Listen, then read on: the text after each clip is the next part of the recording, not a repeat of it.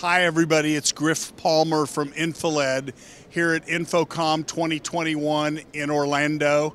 Having a great show. Happy to talk to the rAVe folks about what we're doing here. This is our new DB 2.6 product specifically for XR and virtual production. So we've got faster video refresh rate. We've got a lot of color space adjustment possibilities. And this also comes in a rental staging version uh, that's high resolution for events, uh, mostly corporate and touring.